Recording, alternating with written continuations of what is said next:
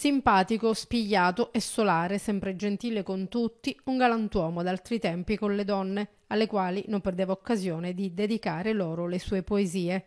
Paternò perde un altro pezzo della sua storia all'età di 97 anni, se ne va il maresciallo della Marina Militare Italiana Vincenzo Piazza.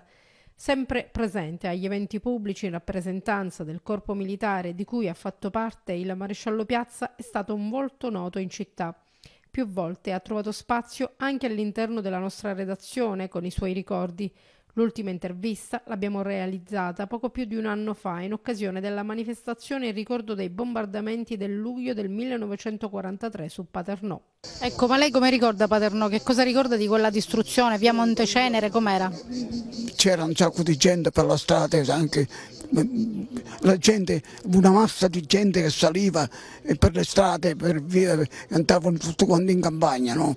per, involverata con, delle ferite enormi, una, una, moltitudine di gente che saliva per le campagne. Voglio dire, di, di, di, di vivere in pace, cercare di, dialogare con la gente in modo, in modo che vogliamoci bene, insomma, in poche parole, va bene. Cordoglio per la morte della maresciallo Piazza l'hanno espresso il sindaco della città Nino Naso e la Marina Militare. I funerali del maresciallo Piazza verranno celebrati domani, martedì 22 ottobre alle 15.30 nella chiesa di Santa Barbara a Paternò.